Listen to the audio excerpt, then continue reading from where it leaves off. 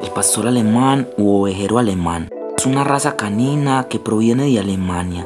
Forman parte del grupo de pastoreo, ya que fueron perros desarrollados originalmente para reunir y vigilar ganado. Desde entonces, sin embargo, gracias a su fuerza, inteligencia, capacidad de entrenamiento y obediencia, son la raza preferida para muchos otros tipos de trabajo, como son perro policía, perro militar, perro guardián, guía de ciegos, incluso animales de rescate. En muchos países incluso cuentan con unidades específicas denominadas K9. Durante la Segunda Guerra Mundial, por el ejército alemán y policías, fue utilizado como perro rastreador y su servicio prestado en la Primera y en la Segunda Guerra Mundial les otorgaron un respeto y admiración a nivel mundial. En pocas palabras, es un gran cuidador y una gran compañía.